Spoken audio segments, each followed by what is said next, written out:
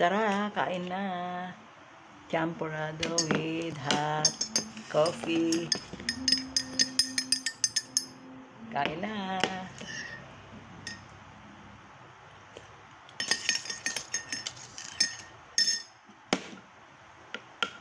Let's have a taste of champurado.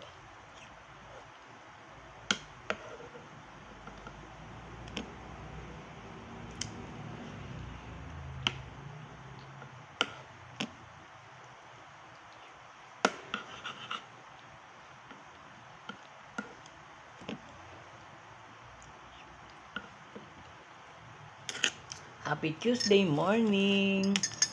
Paano may page Mami Violeta Vlog? Putahin ang ina nyo. Eto ang mainit na kape. God bless you. Happy Tuesday morning. Bye!